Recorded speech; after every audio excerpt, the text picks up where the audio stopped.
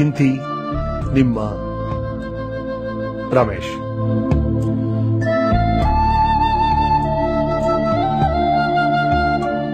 ಗುರುವಿನ ವಾರವಾದ ಈ ಶನಿವಾರ ಮುಂದುವರಿತಾ ಇದೆ. The great teacher doctor Gururaj Kharjagi ಅವರು ನಮ್ಮ ಜೊತೆ ಇದ್ದಾರೆ. ಅವ್ರನ್ನ ಮಾತಾಡ್ಸೋಣ. ಒಳ್ಳೆ ಗುರುವಿನ ಲಕ್ಷಣಗಳೇನು sir? What do expect from a teacher ಅತ್ಯಂತ ಒಳ್ಳೆ ಗುರು ಆಗ್ಬೇಕಾದ್ರೆ ಆತ ತನ್ನನ್ನ ಮೂರು ಪ್ರಶ್ನೆಗಳನ್ನು ಕೇಳ್ಕೋಬೇಕು ಮೊದಲು ನಿಮ್ಮ ವಿಷಯದ ಬಗ್ಗೆ ಪ್ರೀತಿ ಇದೆಯಾ? ಯಾವ ವಿಷಯ ಬಗ್ಗೆ ಪಾಠ ಮಾಡ್ತೀರಿ? ಅದ್ರ ಬಗ್ಗೆ ನಿಜವಾಗೂ ಪ್ರೀತಿ ಇದೆಯಾ? ಬರೀ ತುಟಿ ಮಾತಿಗೋಸ್ಕರ ಕೆಲಸ ಸಿಕ್ತು, ಸಂಬಳ ಸಿಕ್ತು ಅಂತ ವಿಷಯ ಪ್ರೀತಿ ಮಾಡೋದಲ್ಲ. ಕೆಲಸ ಇಲ್ಲದೆ ಹೋದ್ರೂ ಕೂಡ ವಿಷಯ ಪ್ರೀತಿ ಮಾಡ್ತಿದ್ದ ಅನ್ನೋದೊಂದು. ನಿನ್ನ ವೃತ್ತಿ ಬಗ್ಗೆ ಅಭಿಮಾನ ಇದ್ರೆ ನೀವು ಒಳ್ಳೆ ಮೇಸ್ಟ್ ಆಗ್ತೀರಿ ಮೂರನೇದು ಬಹಳ ಮುಖ್ಯವಾದಂತ ಪ್ರಶ್ನೆ ಅಂದ್ರೆ, ನನ್ನ ವಿದ್ಯಾರ್ಥಿಗಳನ್ನ, ನನ್ನ ಮಕ್ಕಳಷ್ಟಾದ್ರೂ ಪ್ರೀತಿ ಮಾಡ್ತೀನ ನಾನು ಅಂತ? ಮಕ್ಕಳಷ್ಟಾದ್ರು ಹಾ ಮಕ್ಕಳಿಗಿಂತ ಹೆಚ್ಚು ಪ್ರೀತಿ ಮಾಡಬೇಕು ಅಂತ ಇರ್ಬೇಕಾದ್ರೆ.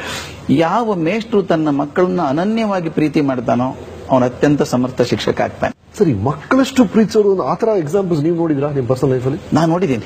ನನ್ನ ತಂದೆ ಸರ್ಕಾರಿ ನೌಕರದಾರು. ಬಹಳ ಪ್ರಾಮಾಣಿಕ ನೌಕರದಾರ ಆದ್ರಿಂದ ಮೇಲೆ ಮೇಲೆ ಟ್ರಾನ್ಸ್ಫರ್ ಆಗೋದು. ಸರಿ. ಬೆಳಿಗ್ಗೆ ನಮ್ಮ ತಂದೆ ಎದ್ದು ಹಿಂದಿನ ದಿವಸದ ಪೇಪರ್ ಎಲ್ಲ ಓದ್ತಾ ಇದ್ರು. ಊರಲ್ಲಿ ಇಲ್ಲದೆ ಹೊರಗೆ ಪೇಪರ್ ಓದಿ ಅರೆ ರಿಸಲ್ಟ್ ಬಂದ್ಬಿಟ್ಟಿದೆ ಎಸ್ ಎಸ್ ಎಲ್ ಸಿ. ಇವ್ ನಂಬರ್ ಏನು? ಪೇಪರ್ ನೋಡಿದ್ಲು. ಆಕೆ ಖಾತ್ರಿ ಇತ್ತು. ತಮ್ಮನಿಗೆ ರ್ಯಾಂಕ್ ಬರುತ್ತೆ ಅಂತ. ನೋಡಿದ್ಲು ಹತ್ತು ರ್ಯಾಂಕು ಇಲ್ಲ.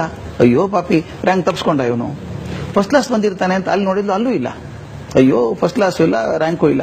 ಸೆಕೆಂಡ್ ಕ್ಲಾಸ್ ನೋಡಿದ್ರು ಅಲ್ಲೂ ಇಲ್ಲ. ಪಾಸ್ ಆದ್ರೆ ಸಾಕಪ್ಪ ಇವನು ಅಂತ ನೋಡಿದ್ರು ಪಾಸು ಆಗಿಲ್ಲ. ಎಸ್ ಎಲ್ ಸಿ ಫೇಲ್ ನಾನು. ಓ ಅಂತ ಅಕ್ಕ, ಅಮ್ಮ ಆಳೋಕೆ ಶುರು ಮಾಡಿದ್ರು. ಅಪ್ಪನಿಗೆ ಕೋಪ. ಒಂದು ಅರ್ಧ ತಾಸು ನಮ್ಮ ತಂದೆ ನೆನಪಾಯ್ತು, ನಾನು ಒಬ್ಬನೇ ಮಗ ಅಂತ. ಆಮೇಲೆ ಬೈಬಾರ್ದು ಅಂತ ತೀರ್ಮಾನ ಮಾಡಿಕೊಂಡ್ರು. ಆಗಿನ ಕಾಲದಲ್ಲಿ ನಮಗೆ ಸಹಾಯ ಮಾಡಬಹುದಾದವರು ಹೆಡ್ ಮಾಸ್ಟರ್ ಮಾತ್ರ. ಫೋನ್ ಮಾಡಿ ಮಾಡಿ ನೋಡಿದ್ರು ಫೋನ್ ಹತ್ಲಿಲ್ಲ. ತಂದೆ ನಾನು ಧಾರವಾಡಕ್ಕೆ ಬಂದ್ವಿ. ಸ್ಟಾಫ್ ರೂಮ್ ಅಲ್ಲಿ ನಮ್ಮ ಹೆಡ್ ಮಾಸ್ಟರ್ ಕೂತಿದ್ರು. ಗಣಿತ ಟೀಚರ್ ಕೂತಿದ್ರು. ಒಳಗೆ ಹೋಗಿ ನಿಂತ್ಕೊಂಡೆ, ಬೈದ್ರು ಬೈದ್ರು ಬೈದ್ರು. ನಾಚಿಕೆ ಬರಲ್ಲ ನಿನಗೆ? ಇಡೀ ವರ್ಷ ಕಲಿಸಿದ್ದೀನಿ ಗಣಿತ ನಿನಗೆ. ಮೂವತ್ತು ಮಾರ್ಕ್ಸ್ ತೊಳೆ ಯೋಗ್ಯತೆ ಇಲ್ಲ? ಹದಿಮೂರು ಬಂದಿದೆ, ಹದಿಮೂರು. ಅಂತ ಬೈದ್ರು ಆಗ ಗೊತ್ತಾಯ್ತು ಯಾವ ವಿಷಯ ಫೇಲ್ ಆಗಿದ್ದೀನಿ ನಾನು ಅಂತ. ಬೈದು ಹೊರಗೆ ಕಳಿಸಿದ್ರು. ನಮ್ಮ ತಂದೆನ ಕರೆದು ಅವ್ರಿಗೂ ಬೈದ್ರು. ಜವಾಬ್ದಾರಿ ಬೇಡ ಸ್ವಾಮಿ ನಿಮಗೆ ಆ? ಆ ಹುಡುಗ ಫೇಲ್ ಆಗಿದ್ದಾನೆ, ಮನೆ ಕೀಲಿ ಹಾಕೊಂಡು ಹೋಗಿದ್ದೀರಿ ನಿಮ್ಮ ಮನೆಗೆ ನಾನು ಮೂರು ದಿವಸ ಹೋಗಿದ್ದೀನಿ. ದಯವಿಟ್ಟು ಗಮನಿಸಿ. ನನ್ನ ಮೇಷ್ಟು ನನ್ನ ಮನೆಗೆ ಹೋಗಿದ್ದಾರೆ. ಮೂರು ದಿವಸ ನಿಮ್ಮ ಮನೆಗೆ ಹೋಗಿದ್ದೀನಿ, ಕೀಲಿ ಹಾಕೊಂಡು ಹೋಗಿದ್ದು ಹುಡುಗನ ಗತಿ ಏನಾಗುತ್ತೆ? ನೋಡಿ ಫೇಲ್ ಆಗೋನಲ್ಲ ರ್ಯಾಂಕ್ ಬರಬೇಕು ಅವನಿಗೆ. ಕಮ್ಮಿ ಬಂದಿದೆ. ರೀಟೋಟ್ಲಿಂಗ್ ಅಪ್ಲೈ ಮಾಡೋದಕ್ಕೆ ಐದೇ ದಿವಸ ಕೊಟ್ಟಿರೋದು. ಚಿಂತೆ ಮಾಡಬೇಡಿ. ನಾನೇ ಆ ಶಾಲೆಗೆ ಬಂದು ಪಾಲಕ ಅಂತ ಅಪ್ಲಿಕೇಶನ್ ತುಂಬಿ ಐದು ರೂಪಾಯಿ ಕಳಿಸ್ಬಿಟ್ಟಿದ್ದೀನಿ ಎಸ್ ಎಲ್ ಸಿ ಬೋರ್ಡ್ಗೆ. ನನಗೆ ಆ ದಿವಸ ನೆನಪಿದೆ ಸರ್. ಇಪ್ಪತ್ತೊಂದನೇ ಮೇ. ಕುದೀತಿದೆ ಬಿಸಿಲು. ಮನೇಲಿ ಕೂತು ರಸ್ತೆ ಕಾಣಿಸ್ತಿತ್ತು. ಡಾಂಬರ್ ಕರಿಗೆ ಮೃಗಜಲ ಹಾಯ್ತಾ ಇದೆ ರಸ್ತೆ ಮೇಲೆ. ಕಾದ್ ಹಂಚಾದಂಗಾಗಿದೆ ರಸ್ತೆ. ನನ್ನ ಮೇಷ್ಟ್ರು ಬರೋದು ಕಾಣಿಸ್ತು. ಕಚ್ಚೆ ಧೋತ್ರ ಬಿಳಿ ಶರ್ಟು ಕರಿ ಕೋಟು ಕರಿ ಟೊಪ್ಪಿಗೆ. ದಪ್ಪ ಕನ್ನಡಕ. ಎಡಗೈಯಲ್ಲಿ ಧೋತ್ರ ಚುಂಗ್ ಇಟ್ಕೊಂಡಿದ್ದಾರೆ. ಬಲಗೈಯಲ್ಲಿ ಚಪ್ಪಲಿ ಇಟ್ಕೊಂಡಿದ್ದಾರೆ. ಕುಣ್ಕೊಂಡು ಕುಣ್ಕೊಂಡು ಬೆವರು ಸುಸ್ಕೊಂಡು ಬರ್ತಾ ಇದ್ದಾರೆ. ನನ್ನ ಪ್ರೀತಿ ಮೇಷ್ಟ್ರಿಗೆ ಡಯಾಬಿಟಿಸ್ ಹೆಬ್ಬಟ್ಟಿ ಗಾಯ ಮಾಡ್ಕೊಂಡು ಇಷ್ಟು ದಪ್ಪ ಆಗಿದೆ. ಬೇಗ ಬೇಗ ನಡೆಯಕ್ಕೆ ಆಗ್ತಾ ಇಲ್ಲ ಚಪ್ಪಲಿ ಹಾಕೊಂಡು. ಬೇಡ ಅಂತ ಚಪ್ಪಲಿ ಉಸಾಬ್ರಿ ಬೇಡ ಅಂತ ಕೈಲಿ ಹಿಡ್ಕೊಂಡು ಬಂದಿದ್ದಾರೆ. ಪಾಪ ಕಾಲಿಗೆಲ್ಲ ಗುಳ್ಳೆ ಆಗಿರ್ಬೇಕು ಅವ್ರಿಗೆ. ಎಲ್ಲಿ ಹೋಗ್ತಿದ್ದಾರೆ ಮೇಷ್ಟ್ರು ಅನ್ಕೊಂಡೆ. ನನ್ನ ಮನೆ ಕಡೆ ತೀರ್ಕೊಂಡ್ರು. ಹೊಸ್ತಲ ಆಚೆಗೆ ಚಪ್ಪಲಿ ಎಸೆದು ಒಳಗೆ ಬಂದ್ಬಿಟ್ರು. ನಿಮ್ಮ ಅತ್ಯಂತ ಪ್ರೀತಿ ಪಾತ್ರರಾದಂತ ಮೇಷ್ಟ್ರು ಹೀಗೆ ಮನೆಗೆ ಬಂದ್ರೆ ಏನ್ ಮಾಡಬೇಕು ಅಂತ ತೋಚಲಿಲ್ಲ ಎದ್ದು ನಿಂತ್ಕೊಂಡ್ಬಿಟ್ಟೆ ಮುಂದೆ ಐದು ನಿಮಿಷ ಆದದ್ದನ್ನ ನನ್ನ ಜೀವನದ ಕೊನೆ ಕ್ಷಣದವರೆಗೂ ಮರೆಯೋಕೆ ಸಾಧ್ಯ ಇಲ್ಲ ನಾನು. ಒಂದು ಮಾತು ಆಡಲಿಲ್ಲ ಮೇಷ್ಟ್ರು. ಸೀದಾ ನನ್ನ ಕಡೆ ಬಂದ್ರು, ಗಟ್ಟಿಯಾಗಿ ಅಪ್ಕೊಂಡ್ಬಿಟ್ಟು ಮಗು ತರ ಬಿಕ್ಕಿ ಬಿಕ್ಕಿ ಅಳೋಕೆ ಶುರು ಮಾಡಿದ್ರು. ಯಾಕೆ ಅಳ್ತಾರೆ ಮೇಷ್ಟ್ರು ಅಂತ ಗೊತ್ತಿಲ್ಲ. ಪಾಪ ಏನೋ ತೊಂದರೆ ಆಗಿರಬೇಕು ಅಂತ ನನಗೊಳು ಬಂದ್ಬಿಡ್ತು. ಒಂದು ಎರಡು ಮೂರು ನಿಮಿಷ ಆದ್ಮೇಲೆ ನಾನು ಹಿಂಗೆ ಹೊರಗೆ ತಳ್ಳಿ ಜೇಬಲ್ ಕೈ ಹಾಕಿ ಒಂದು ಪೇಪರ್ ತೆಗೆದ್ರು. ನೋಡು ಚಂಡಾಲ್ರು ಏನ್ ಮಾಡಿದ್ರೆ ನಿನ್ ಜೀವನಕ್ಕೆ ಅಂತ ಕೊಟ್ರು. ಅದು ಬೋರ್ಡ್ ಇಂದ ಬಂದಂತ ಟೆಲಿಗ್ರಾಮ್. ನಿನ್ ರಿಸಲ್ಟ್ ಫೇಲ್ ಇಂದ ಏಟ್ ರ್ಯಾಂಕ್ ಆಗಿದೆ, ನಿನ್ ಕ್ಯುಮುಲೇಟಿವ್ ಕಾರ್ಡ್ ಕರೆಕ್ಷನ್ ಕೊಡು ಅಂತ ಬರೆದಿದ್ರು. ನನಗೆ ಏಟ್ ರ್ಯಾಂಕ್ ಬಂದಿದೆ ಸ್ಟೇಟಿಗೆ ಆದ್ರೆ ಆನೆಸ್ಟ್ ಆಗಿ, ಪ್ರಾಮಾಣಿಕವಾಗಿ ಹೇಳೋದಾದ್ರೆ, ಆ ಕ್ಷಣಕ್ಕೆ ನನಗೆ ರ್ಯಾಂಕ್ ಬಂತು ಅಂತ ಸಮಾಧಾನ ಆಗಿರ್ಲಿಲ್ಲ. ನನ್ನ ಮೇಷ್ಟ್ರು ಮನೆಗೆ ಬಂದು ಅಪ್ಕೊಂಡು ಹತ್ರಲ್ಲ. ಅದು ಬಹಳ ದೊಡ್ಡದು ಅನ್ಸ್ಬಿಡುತ್ತೆ ನನಗೆ. ತನ್ನ ಮಕ್ಕಳಿಗಿಂತ ಹೆಚ್ಚಿಗೆ ಪ್ರೀತಿ ಮಾಡಿದಂಥ ಮೇಷ್ಟ್ರು. ಇವತ್ತು ನಾನು ಪ್ರತಿಯೊಂದು ಕ್ಷಣ ನೆನೆಸ್ತೇನೆ. ನಾನು ಮೇಷ್ಟ್ರ ಆಗಬೇಕು ಅಂತ ತೀರ್ಮಾನ ಮಾಡದ್ದು ಅವತ್ತು. ನನ್ನ ಜೀವನದಲ್ಲಿ ಬೇಕಾದಷ್ಟು ಅವಕಾಶ ಇತ್ತು. ಆದ್ರೆ ನಾನು ಪ್ರತಿಜ್ಞೆ ಮಾಡಿದ್ದು ನಾನು ಬದುಕಿದ್ರೆ ನನ್ನ ಮೇಷ್ಟ್ರಾಗಿ ಆಗಬೇಕು ಅಂತ.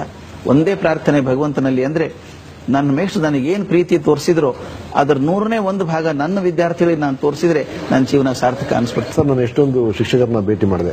ಕೆಲವರು ಅಭಿಪ್ರಾಯ ಏನಿದೆ ಅಂದ್ರೆ ಇದು ಥ್ಯಾಂಕ್ಲೆಸ್ ಜಾಬ್ ಕೊನೆಗೆ ಅಂತ ಹೇಳ್ತಿದ್ದಾರೆ. ನಿಮ್ಗೇನ್ ಅನ್ಸುತ್ತೆ? ಥ್ಯಾಂಕ್ಲೆಸ್ ಜಾಬ್ ಅಲ್ಲ sir. Is the most wonderful job that God has given us. ಅದಕ್ಕೊಂದು ಉದಾಹರಣೆ ಹೇಳಿದ್ರೆ ಬಹುಶಃ ಅದು ಸ್ಪಷ್ಟ ಆದಿತ್ತು ಏನು? ನಾನು ಹುಡುಗಾಗಿದ್ದಾಗ ನನ್ನ ಅಜ್ಜ ಬಹಳ ಶ್ರೇಷ್ಠ ಮೇಷ್ಟ್ರ ಆಗಿದ್ದವರು ಪ್ರೈಮರಿ ಸ್ಕೂಲ್ ಟೀಚರ್ ಆಗಿದ್ದವರು ಬಹಳ ಒಳ್ಳೆ ಹೆಸರು ಮಾಡಿದವರು.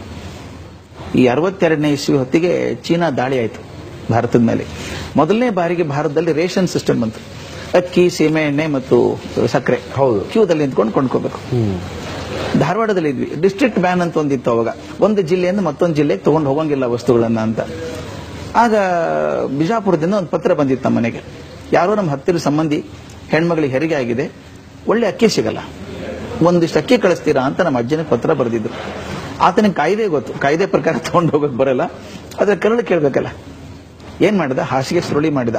ಜಮಖಾನೆ ಹಾಸಿ ಬಟ್ಟೆ ಹಾಕಿ ಒಂದ್ ನಾಲ್ಕು ಕಿಲೋ ಅಕ್ಕಿ ಹಾಕಿ ಸುತ್ತಿ ಹಗ್ಗ ಕಟ್ಟಿ ಒಂದು ಹಾಸಿಗೆ ಸುರುಳಿ ಮಾಡಿ ನಾನು ಕರ್ಕೊಂಡು ಹೋದ. ಬಿಜಾಪುರದಲ್ಲಿ ಇಳಿದ್ವಿ ಟ್ರೈನಲ್ಲಿ. ನಿಮ್ ಕಣ್ಮುಂದ್ ಬರ್ಬೇಕು ಚಿತ್ರ. ಹೆಗಲ್ ಮೇಲೆ ಚೀಲ ಇಟ್ಕೊಂಡಿದ್ದಾನೆ ಬಲಗೈಯಲ್ಲಿ ನಾನು. ಎರಡು ಲಗೇಜ್ ಬೇಗ ನಡಿ ಬೇಗ ನಡಿ ಅಂತ ಇದ್ದಾನೆ. ಎಲ್ಲಿ ಪೊಲೀಸ್ ಹಿಡ್ಕೊಂಡ್ಬಿಡ್ತಾರೋ ಅಂತ ಹೆದರಿಕೆ ಅವನಿಗೆ. ಇನ್ನೊಂದು ಸ್ವಲ್ಪ ಹೋಗಿದ್ರೆ ದಾಟಿ ಬಿಡ್ತಿದ್ವಿ ಸ್ಟೇಷನ್. ಯಾರೋ ಹೆಗಲ ಮೇಲೆ ಕೈ ಇಟ್ಟಂಗಾಯ್ತು. ತಿರುಗಿ ನೋಡಿದ್ರೆ ಪೊಲೀಸ್. ಆ ಪೊಲೀಸ್ ಹೇಳಿದ ಬರ್ರಿ ಸಾಹೇಬ್ರು ಕರೀತಾರೆ ನಿಮ್ಮನ್ನ ಅಂತ. ಸಾಹೇಬ್ರು ಜೀಪ್ ಇಟ್ಟು ಹೋಗಿದ್ದಾರೆ. ಹೋಗ್ಬೇಕಂತ ಅವ್ರು ನೋಡೋದಕ್ಕೆ ಅಂತ. ನಮ್ಮ ಅಜ್ಜ ಅಳೋದೊಂದು ಬಾಕಿ. ತರ ಆಗಿನ ಕಾಲದಲ್ಲಿ ಪೊಲೀಸ್ ಜೀಪಲ್ಲಿ ಹೋಗುವಂತ ಅವಮಾನಕರವಾದ ಸಂಗತಿ ಯಾವುದೂ ಇರಲಿಲ್ಲ. ಈಗೆಲ್ಲ ಜನ ಪಿಕ್ನಿಕ್ ಹೋಗ್ತಾರೆ ಮತ್ತೆ ಬೇರೆ. ಆಮೇಲೆ ಆ ಜೀಪಲ್ಲಿ ಕೂತ್ ಹೋದ್ವಿ. ದೊಡ್ಡ ಮನೆ ಎಸ್ ಪಿ ಮನೆ. ಆಗಿನ ಕಾಲ ಈಗ ಎಸ್ ಪಿ ಅಂದ್ರೆ ದೊಡ್ಡ ಪೋಸ್ಟು. ಆ ಗವರ್ನರ್ ಇದ್ದ ಹಾಗೆ. ಅದೊಂದು ಬೆಂಬಿಡದ ಭೂತ ಇತ್ತಲ್ಲ ಚೀಲ. ಅದು ಇಟ್ಕೊಂಡು ಅಲ್ಲಿ ಕೂತ್ಕೊಂಡ್ವಿ. ನಮ್ಮ ಅಜ್ಜ ಒಂದು ಕ್ಷಣ ಕ್ಷಣ ಮುಖ ಒರೆಸ್ಕೋತಾ ಇದ್ದ. ಒಳಗಿಂದ ಒಬ್ರು ಕಾನ್ಸ್ಟೇಬಲ್ ಬಂದ್ರು. ಬರ್ರಿ ಒಳಗೆ ಸಾಹೇಬರು ಕರೀತಾರೆ ಅಂತ. ಅಪರಾಧಿ ತಾನೇ ನನ್ನ ಅಜ್ಜ. ಕೈ ಮುಕ್ಕೊಂಡೆ ಒಳಗೆ ಹೋದ. ದೊಡ್ಡ ಹಾಲು. ಅಲ್ಲೆಲ್ಲ ಸೋಫಾ ಹಾಕಿದ್ದಾರೆ. ಮೂರು ಜನ ಕಾನ್ಸ್ಟೇಬಲ್ ನಿಂತ್ಕೊಂಡಿದ್ದಾರೆ. ಮಧ್ಯದಲ್ಲಿ ಒಬ್ಬ ಎತ್ತರ ಕಪ್ಪು ಮನುಷ್ಯ ಕಲ್ಲಿ ಮೀಸೆ ಅವನ ಪಕ್ಕದಲ್ಲಿ ಸುಂದರವಾದ ಹೆಣ್ಮಗಳೊಬ್ಳು. ಆತನೇ ಇರಬೇಕು ಎಸ್ ಪಿ ಅಂತ ಅನಿಸ್ತ ಅಜ್ಜನಿಗೆ. ಒಳಗೆ ಹೋದವನೇ ಕೈ ಮುಗಿದು ತಪ್ಪಾತ್ರಿ ಸಾಹೇಬ್ರೆ ತಪ್ಪಾತ್ರಿ ಸಾಹೇಬ್ರೆ ಅಂದ. ಆ ಆಫೀಸರ್ ನಿಂತ್ಕೊಂಡವರು ಒಂದು ಮಾತು ಆಡ್ಲಿಲ್ಲ. ಒಂದ್ ಹೆಜ್ಜೆ ಮುಂದೆ ಬಂದವರು ದೀರ್ಘದಂಡ ನೆಲದ ಮ್ಯಾನ್ ಮಲ್ಕೊಂಡು ಕಾಲು ಹಿಡ್ಕೊಂಡ್ಬಿಟ್ರು ಅಜ್ಜನ್. ನಮ್ಮ ಅಜ್ಜನ ಗಾಬರಿ ಯಾರು ಇವರು ಯಾರು ಇವರು ಅಂತಾನೆ. ಆ ಪೊಲೀಸ್ ಎಲ್ಲ ಸಾಹೇಬರು ಸಾಹೇಬರು ಅಂತಾರೆ. ಇಲ್ಲಿವರೆಗೂ ಸಾಹೇಬ್ರ ಕಾಲಿಗೆ ಮತ್ತೊಬ್ಬರು ಬಿದ್ದದನ್ನ ನೋಡಿದ್ರೆ ಹೊರತಾಗಿ ಸಾಹೇಬ್ರು ಮತ್ತೊಬ್ಬರು ಕಾಲಿಗೆ ಬಿಡೋದು ನೋಡಿರ್ಲಿಲ್ಲ. ಅಜ್ಜ ಹೇಳ್ರಿ ಸಾಹೇಬ್ರ ಹೇಳ್ರಿ ಸಾಹೇಬ್ರ ಅಂದ. ಸಾಹೇಬ್ ಎದ್ ನಿಂತ್ಕೊಂಡ. ನನ್ನ ಕಣ್ಣು ಮುಂದೆ ಇದೆ ಚಿತ್ರ ಅದು. ಇನ್ ಕೈ ಮುಕ್ಕೊಂಡು ನಿಂತವನು ಕಣ್ಣಲ್ಲಿ ನೀರು ಸುರಿತಾ ಇತ್ತು ಅವನಿಗೆ. ಸರ್ ನನ್ನ ಗುರುತು ಸಿಕ್ತು ಸರ್ ನಿಮಗ ಅಂತ ಕೇಳ್ದ. ಇಲ್ರಿ ಸಾಹೇಬ್ರೆ ಗುರುತು ಸಿಗ್ಲಿಲ್ಲ ಅಂತ ನಮ್ಮ ಅಜ್ಜ ಅಂದ. ನಾನು ಸರ್ ಭೀಮಾ. ಯಾ ಭೀಮಾ? ನಾನು ಸರ್ ಮುರುಗೋಡ್ ಭೀಮ್ಯ.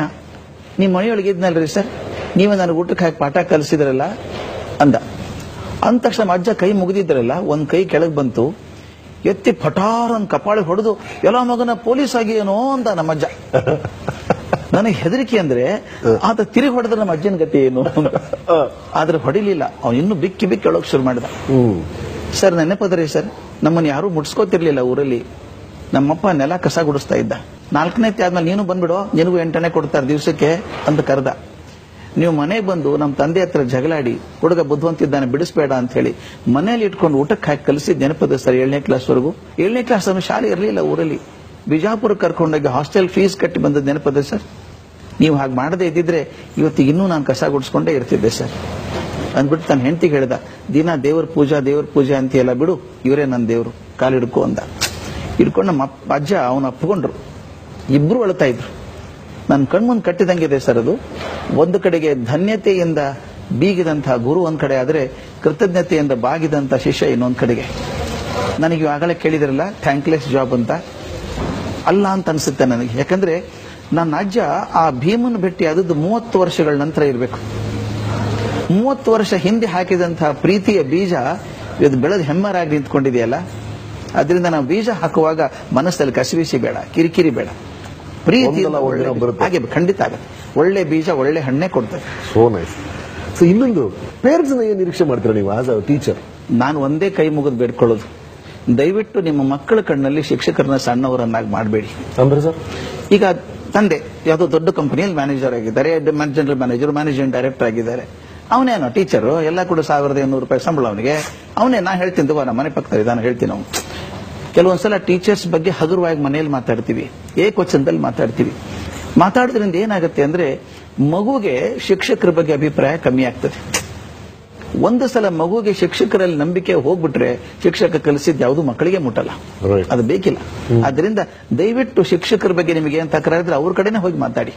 ಮಗು ಮುಂದೆ ಕೆಟ್ಟದಾಗಿ ಮಾತಾಡಬೇಡಿ. ಶಾಲೆ ಯಾವ ವಾತಾವರಣದ ಬಗ್ಗೆನೂ ಮಕ್ಕಳ ಮುಂದೆ ಮಾತಾಡಬೇಡಿ. ಶಾಲೆಗೆ ಅದು ದೇವಸ್ಥಾನ ಇದ್ದಂಗೆ ಮಗು ಮಗುಗೆ ದೇವಸ್ಥಾನ ಶಾಲೆ. ಅದ್ರ ಬಗ್ಗೆ ತಪ್ಪು ಮಾತಾಡೋದು ಬೇಡ. ಇನ್ನೊಂದು ನೀವು ಶಿಕ್ಷಕರನ್ನ ಭೇಟಿ ಆದ್ರೂ ಕೂಡ ನೀವು ಅವ್ರ ಕೃತಜ್ಞತೆಯಿಂದ ಮಾತಾಡಿಸಿ. ನಿಮ್ಮ ಮಗುವನ್ನ ಒಂದು ವ್ಯಕ್ತಿತ್ವವನ್ನಾಗಿ ಮಾಡುವಂತವ್ರು ಅವರು. ಖಂಡಿತ. ಆದ್ರಿಂದ ಆ ಗೌರವ ಇರಲಿ. ಆತನ ಕಲಿಕೆ ನಿಮ್ಗಿಂತ ಕಮ್ಮಿ ಇರಬಹುದು ಆತನ ಜಗತ್ತಿನ ದೃಷ್ಟಿ ನಿಮ್ಗಿಂತ ಸಣ್ಣದಾಗಿರಬಹುದು ಆದ್ರೆ ಆತ ಒಂದು ದೊಡ್ಡ ಕೆಲಸ ಮಾಡ್ತಿದ್ದಾನೆ. ಒಬ್ಬ ಮಗುನ ಒಬ್ಬ ಸಮರ್ಥ ನಾಯಕನನ್ನಾಗಿ ಮಾಡ್ತಾನೆ. ಫಿಸಿಕ್ಸ್ ಕೆಮಿಸ್ಟ್ರಿ ಹೇಳ್ಕೊಡೋದು ಒಂದ್ ಕಡೆ. ಅಪಾರ್ಟ್ ಫ್ರಮ್ ದಟ್ ಅವರ ಪರ್ಸನಲ್ ಲೈಫಲ್ಲಿ ಅಥವಾ ಅವ್ರ ಬಿಹೇವಿಯರ್ ಅಲ್ಲಿ ಹೇಗಿರಬೇಕು ಅನ್ಸುತ್ತೆ ನಿಮಗೆ ಟೀಚರ್ಸ್ ಒಂದು ಗಮನ ಶಿಕ್ಷಕರು ಇಡಬೇಕಾದದ್ದು ಅಂದ್ರೆ ಪ್ರತಿಯೊಂದು ಮಗು ನಿಮ್ಮನ್ನು ಗಮನಿಸಿ ನೋಡುತ್ತದೆ. ನೀವು ಮೇಷ್ಟ್ರಾದಾಗ ನಿಮ್ ದುರ್ಬೀನ್ ಕೆಳಗೆ ಇರ್ತೀರಿ. ಹಾ. ನಿಮ್ಮ ವ್ಯಕ್ತಿ ಜೀವನ ಕೂಡ ಒಂದು ಎಕ್ಸಾಂಪಲ್ ಹೇಳ್ಬಿಡ್ತೀನಿ. ನಾನು ಹಾರ್ವರ್ಡ್ ಸ್ಕೂಲ್ ಆಫ್ ಎಜುಕೇಶನ್ ಹೋದಾಗ ಅಲ್ಲಿ ಡಾಕ್ಟರ್ ಕ್ಯಾಥಲೀನ್ ಅಂತ dean. One of the best university in the world today ಅಲ್ಲಿ ಹೋದಾಗ ನಾನು ಪಾಠ ಮಾಡಿ ಮುಗಿದ್ಮೇಲೆ ಅವ್ರು ಎಷ್ಟು ಚೆನ್ನಾಗಿ ಮಾಡ್ತಾರೆ ಅಂದ್ರೆ ತಮ್ಮ ಯೂನಿವರ್ಸಿಟಿ ಬಗ್ಗೆ ಯಾಕೆ ಹಾರ್ವರ್ಡ್ ರಿಮೇನ್ಸ್ ನಂಬರ್ ಒನ್ ಅಂದ್ರೆ ಒಂದು ಕ್ವಶನ್ ಮಾಡ್ತಾರೆ. ನಮ್ಮ ಶಾಲೆ ಬಗ್ಗೆ ಅಭಿಪ್ರಾಯ ಏನ್ ನಿಮ್ದು ಅಂತ ಎಲ್ಲರನ್ನೂ ಕೇಳ್ತಾರೆ. ನೋಡಿದೆ ಚೆನ್ನಾಗಿತ್ತು. ನಾ ಒಂದು ಕ್ವಶನ್ ಸೇರಿಸಬಹುದಾ ಇದಕ್ಕೆ ಅಂತ ಕೇಳಿದೆ. ಏನು ಅಂತ ಕೇಳಿದ್ರು. ಒಂದು ಕ್ವಶನ್ ಹಾಕಿದ್ರು. Do you think the personal life of a teacher makes an impact on your learning ಅಂತ. ಅಂದ್ರೆ ಶಿಕ್ಷಕರ ವೈಯಕ್ತಿಕ ಜೀವನ ನಿಮ್ಮ ಕಲಿಕೆ ಮೇಲೆ ಪ್ರಭಾವ ಬೀರ್ತದ ಅಂತ ಒಂದು ಕ್ವಶನ್ ಹಾಕಿ ಅಂದೆ. ಹಾಕಿಂದ ಅದೇನಾಗ್ಲಿಕ್ಕಿಲ್ಲ ಬಿಕಾಸ್ ಟೀಚರ್ ಇದೆ teacher personal life is personal life ಅಂದ್ರು. ಹಾಕಿ ನೋಡಿ ಅಂದೆ. ಹಾಕಿ ನೋಡಿ ಆರು ತಿಂಗಳಲ್ಲಿ ಮೇಲ್ ಕಳಿಸಿದ್ದಾರೆ ಅವರು. ಬಹಳ ಒಳ್ಳೆ ಪ್ರಶ್ನೆ ಇದು. ಏಟಿ ನೈನ್ ಪರ್ಸೆಂಟ್ ಎಂಬತ್ತೊಂಬತ್ತು ಜನ ಹುಡುಗರು ಹೇಳಿದಾರಂತೆ personal life of a teacher makes an impact on my learning ನೋಡಿ ಹಿಂದಿನ ದಿವಸ ಮೇಷ್ಟು ಕುಡ್ಕೊಂಡು ಅಡ್ಡಾಡ್ತಾ ಇದ್ದಾರೆ ರಸ್ತೆ ಮೇಲೆ. ಮರುದಿವ್ಸ ಕ್ಲಾಸ್ ಅಲ್ಲಿ ಪಾಠ ಮಾಡಿದಾಗ ಹಿಂದಿನ ದೃಶ್ಯ ಪುನರಾವರ್ತನೆ ಆಗ್ತಾ ಇರುತ್ತೆ ಕ್ಲಾಸ್ ಎಷ್ಟು ಒಳ್ಳೆ ಚೆನ್ನಾಗಿ ಫಿಸಿಕ್ಸ್ ಟೀಚ್ ಮಾಡಿದ್ರೆ ಒಬ್ಬ ಶಿಕ್ಷಕ ತನ್ನ ವ್ಯಕ್ತಿಶಃ ಜೀವನವನ್ನು ಎಷ್ಟು ಶುದ್ಧವಾಗಿ ಇಟ್ಕೋತಾನೋ ಅಷ್ಟು ಒಳ್ಳೆ ಮೇಸ್ಟ್ ಆಗ್ತಾನೆ. ಅದಕ್ಕೆ ನಾನು ಹೇಳೋದು before you become a good teacher you should be good human being ಒಳ್ಳೆ ಮನುಷ್ಯನಾಗೋದ್ ಹೊರತು ಒಳ್ಳೆ ಶಿಕ್ಷಕ ಆಗೋಕೆ ಸಾಧ್ಯವೇ ಇಲ್ಲ. ನನ್ನ ಗೆಳೆಯ ಒಬ್ಬ ಬೇರೆ ದೇಶದಿಂದ ಬಂದಿದ್ದ ಅವ್ನು ಭೇಟಿಯಾಗಿ ಹೊರಗೆ ಬಂದಾಗ ಒಂದು ದೊಡ್ಡ ಹಾಲ್ ಒಂದು ದೊಡ್ಡ ಓವಲ್ ಶೇಪ್ ಟೇಬಲ್ ಇದೆ. ಅಲ್ಲಿ ಮಕ್ಕಳು ಪಾರ್ಟಿ ಆಗ್ತಾ ಇತ್ತು. ಅಲ್ಲಿ ಪಾರ್ಟಿ ಮಾಡ್ಬೇಕಾದ್ರೆ ಶ್ರೀಮಂತರೇ ಇರಬೇಕು. ಎಲ್ಲ ಹನ್ನೆರಡರಿಂದ ಹದಿನಾಲ್ಕು ವರ್ಷ ಹುಡುಗರು ಟೇಬಲ್ ತುದಿಗೆ ಸುಂದರ ಹುಡುಗಿ ಕೂತಾಳ ಹದಿಮೂರು ಹದಿನಾಲ್ಕು ವರ್ಷ. ಆಕೆ ಮುಂದೆ ಕೇಕು ಕ್ಯಾಂಡಲ್ ಎಲ್ಲ ಇತ್ತು. ಗೊತ್ತಾಯ್ತು ಬರ್ತ್ಡೇ ಇರಬೇಕು ಅಂತ. ನನಗೆ ಶಾಕ್ ಆದದ್ದು ಏನು ಅಂದ್ರೆ ಎಲ್ಲರ ಕೈಯಲ್ಲಿ ಸಿಗರೇಟ್ ಎಲ್ಲ ಟ್ವೆಲ್ ತರ್ಟೀನ್ ಎಲ್ಲ ಹನ್ನೆರಡು ಹದಿಮೂರು ವರ್ಷ ಹುಡುಗ ನನಗೆ ಯಾಕೋ ನಾನು ಒಳಗಿದ್ದಂತ ಶಿಕ್ಷಕ ಸಾಯೋಲ್ಲ. ನಾನು ಹುಡುಗಿ ಹತ್ರ ಹೋದೆ ಮಗು ನಿನ್ ಬರ್ತ್ಡೇನಾ ಇವತ್ತು ಒಂದೇ ಹೌದು ಅಂಕಲ್ ಅಂದು. ಥ್ಯಾಂಕ್ ಯು ದೇವ್ರು ಒಳ್ಳೇದು ಮಾಡ್ಲಿ. ಹುಟ್ಟುಹಬ್ಬ ಶುಭಾಶಯಗಳು ಅಂತ ಹೇಳಿದೆ. ಯಾಕೆ ನಕ್ ಬಿಟ್ಟು ಕೈಯಲ್ಲಿ ಒಂದು ಪ್ಯಾಕೆಟ್ ಇಟ್ಕೊಂಡು ಚಾಕ್ಲೇಟ್ ತಗೊಳ್ಳಿ ಅಂಕಲ್ ಅಂದ್ಲು. ಎರಡು ಚಾಕ್ಲೇಟ್ ತಗೊಂಡೆ. ಅಮ್ಮ, ನಾನು ಕೇಳಿದೆ, ಅಮ್ಮ, ನಿಮ್ಮ ತಾಯಿ ಗೊತ್ತಾ ನೀವು ಸಿಗರೇಟ್ ಸೇದೋದು? ಅಂತ ಕೇಳಿದೆ. ನನಗೊಂದು ಥೇರಿ ಇದೆ ಸರ್ ಇದೊಂದು ದೊಡ್ಡ ಥೇರಿ ನಾನು ನಂಬ್ಕೊಂಡಿದ್ದು. ಎಷ್ಟೋ ಜನ ಕೇಳ್ತಾರೆ, ನಾ ಮಾಡೋ ಕೆಲಸ ಒಳ್ಳೇದಾ ಕೆಟ್ಟದಾ? ಅಂತ ಕೇಳ್ತಾರೆ. ಅವ್ನು ಸಿಂಪಲ್ ಫಾರ್ಮುಲಾ ಕೊಡ್ತೀನಿ. ನೀ ಮಾಡುವಂತ ಕೆಲಸ ನಿಮ್ಮ ತಾಯಿ ಗೊತ್ತಾದ್ರೆ ಸಂತೋಷ ಪಡ್ತಾಳ ದುಃಖ ಪಡ್ತಾಳ. ಆಕೆ ದುಃಖ ಪಡ್ತಾಳ ನಿಮ್ ಕೆಲಸ ಒಳ್ಳೇದಲ್ಲ. ಯಾಕೆ ನಿಮ್ಮನ್ನ ಏನೂ ಕಾರಣ ಇಲ್ಲದೆ ಪ್ರೀತಿ ಮಾಡುವಂತ ದೊಡ್ಡ ಜೀವ ಅಂದ್ರೆ ತಾಯಿ. ಅದನ್ನ ಹೇಳಿದ ನಿಮ್ ತಾಯಿ ಗೊತ್ತಾ ಸಿಗರೇಟ್ ಸೇದೋದು ಅಂತ ಹೇಳಿದೆ. ತಕ್ಷಣ ಆಕೆ ಮುಖ ಬಿರ್ಸಾಯ್ತು ನಗುವಂತ ಮುಖ.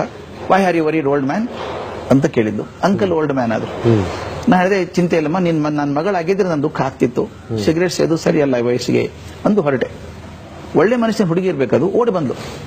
ಓಡಿ ಬಂದು ಅಂಕಲ್ ಸಾರಿ ಹಂಗ ಅನ್ಬಾರ್ದಾಗಿತ್ತು. ಸಿಗರೇಟ್ ಸೇದು ತಪ್ಪ? ಅಂತ ಕೇಳಿದ್ಲು. ಖಂಡಿತ ತಪ್ಪಮ್ಮ. ಬೆಂಗಳೂರಲ್ಲಿ ಒಳ್ಳೆ ಹವೆ ಸಿಗಲ್ಲ ಅಂತಂದ್ರೆ ನೀನ್ ಕೆಟ್ಟ ಹವೆ ತುಂಬಿಕೊಳ್ಳೋದಕ್ಕೆ ಒಂದು ನಿಕೋಟಿನ್ ಕೆಟ್ಟದದು ಅಂತ ಹೇಳಿದೆ. ಹಾಗಾದ್ರೆ ನಮ್ಮ ಕೃಷ್ಣಮೂರ್ತಿ ಸರ್ ಯಾಕೆ ಸೇರ್ತಾರೆ? ಅಂತ ಕೇಳಿದ್ಲು. ಯಾರು ಕೃಷ್ಣಮೂರ್ತಿ ಸರ್? ಅಂತ ಕೇಳಿದೆ. ನಮ್ಮ ಅತ್ಯಂತ ಪ್ರೀತಿ ಗಣಿತ ಟೀಚರ್ ಅವರು ಒಂದು ನನಗೆ ಆಘಾತ ಆಗೋಯ್ತು. ಮರುದಿವಸ ಕೃಷ್ಣಮೂರ್ತಿನ ಕರೆದು ಹೇಳಿದೆ ಆತನಿಗೆ ಅಪ್ಪ ನೀನು ಗಣಿತ ಕಲಿಸು ಅಂತ ಇಟ್ಟದ್ದು ನೀನ? ಗಣಿತ ಕಲಿಸೋದಿಗೆ ಸಿಗರೇಟ್ ಸೇದೋದು ಕಲಿಸ್ತಾ ಇದೆಯಲ್ಲ ನೀನು? ಅಂದ್ರೆ ನಾವು ಶಿಕ್ಷಕರು ಎಷ್ಟು ಮೈ ತುಂಬ ಕಣ್ಣಾಗಿರ್ಬೇಕು ಅಂದ್ರೆ ಮಕ್ಕಳು ಪ್ರತಿಯೊಂದನ್ನು ಗಮನಿಸ್ತಾರೆ ನಿಮ್ಮನ್ನ. ನಿಮ್ಮ ಒಳ್ಳೆ ಗುಣಗಳನ್ನು ಅನುಸರಿಸ್ತಾರೆ ಕೆಟ್ಟ ಗುಣಗಳನ್ನು ಅನುಸರಿಸ್ತಾರೆ. ಆದ್ರಿಂದ ಶಿಕ್ಷಕ ಆದವನು ಮೈತುಂಬ ಕಣ್ಣಾಗಿ ತನ್ನ ಅವಶ್ಯಕ ತನ್ನ ತನ್ನಲ್ಲಿರುವಂತಹ ಕೊರತೆಗಳನ್ನ ಆದಷ್ಟು ಕವರ್ ಮಾಡಿಕೊಂಡು ಗೊತ್ತಾಗ್ಲ ಹರಿದಾಗ ಬದುಕಬೇಕು ಅದನ್ನ ಕಳ್ಕೊಳ್ಳೋಕೆ ಪ್ರಯತ್ನ ಮಾಡಬೇಕು. ಸರ್ ಒಂದು ಸಾಲಲ್ಲಿ ಗುರು ಅಂದ್ರೆ? ಈಗ ವೇದವ್ಯಾಸರ ಬಗ್ಗೆ ಹೇಳ್ತಾ ಪ್ರಜ್ವಾಲಿತೋ ಜ್ಞಾನಮಯ ಪ್ರದೀಪ ಅಂತಾರೆ. ಪ್ರದೀಪ ಗುರು. ಪ್ರದೀಪ ಅಂದ್ರೆ ದೀಪ ಅಲ್ಲ. ಯಾವುದು ತನ್ನ ಸ್ವಂತ ಶಕ್ತಿಯಿಂದ ಸದಾಕಾಲ ಉರಿತದೋ ಅದು ಪ್ರದೀಪ. ಅದರಿಂದ ಬೇರೆ ದೀಪಗಳು ಹಚ್ಕೊಳ್ಳುವಂಥದ್ದು. ಒಬ್ಬ ಶಿಕ್ಷಕ ಪ್ರದೀಪ ಆದ್ರೆ ದೀಪಗಳು ಶಿಷ್ಯರು. ಆ ಮೇಸ್ಟ್ಗಳೇ night watchman of society thank you sir ಈ ಸಂಚಿಕೆಯ ಕೊನೆಯಲ್ಲಿ ಅನ್ನಿಸ್ತಾ ಇದೆ. ಒಂದು ವೇಳೆ ಸ್ವರ್ಗದಲ್ಲಿ ಒಂದು ತಕ್ಕಡಿ ಇದ್ದು ಆ ಎರಡು ತಟ್ಟೆಯಲ್ಲಿ ಒಂದು ಕಡೆ ನಮಗಿಷ್ಟವಾದ sports celebrities film stars models ಎಲ್ಲರನ್ನೂ ಹಾಕಿ ಇನ್ನೊಂದು ಕಡೆ ಒಂದು ಒಳ್ಳೆ ಟೀಚರ್ನ ಇಟ್ಟರೆ ಖಂಡಿತವಾಗಲೂ ಇದರ ತೂಕ ದೇವರ ಕಣ್ಣಲ್ಲಿ ಜಾಸ್ತಿ ಇರುತ್ತೆ ಅನ್ಸುತ್ತೆ. ಯಾಕೆಂದ್ರೆ ಇವ್ರನ್ನೆಲ್ಲ ಸೃಷ್ಟಿ ಮಾಡೋದು ಈ ಒಬ್ಬ ಗುರುನೇ. So all teachers are great ಜೀವನಕ್ಕಿಂತ ಶ್ರೇಷ್ಠ ಗುರು ಇಲ್ಲ. ಅಂಡ್ ಆ ಕಲಿಕೆ ನಿರಂತರ. ಮುಂದಿನ ವಾರ ಸಿಗೋಣ. ಇನ್ನೊಂದು ಸಂಬಂಧ